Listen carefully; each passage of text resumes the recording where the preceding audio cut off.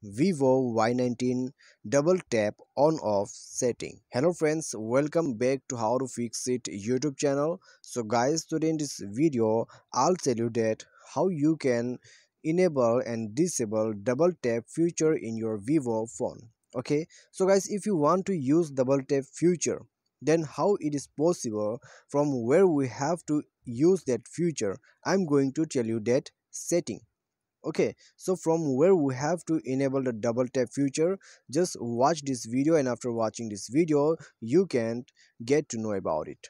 Okay so guys whenever we used to double tap in our device we can turn off the screen.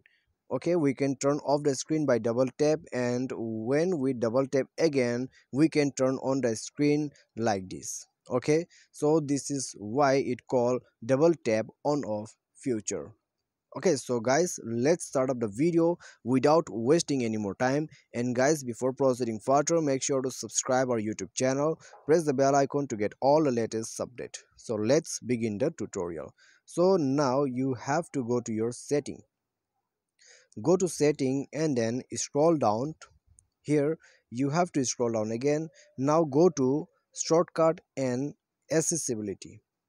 You have to go here shortcut and accessibility and after that what you need to do is you have to go on smart motion.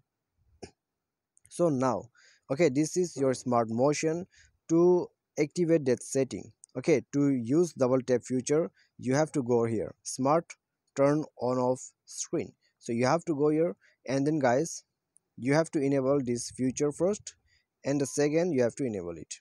Okay so this is the enable buttons. So tap and enable it. So now try to double tap on your screen. Okay when you double tap your screen your screen will get off. And if you double tap again then your screen will light up. Okay your screen will light up.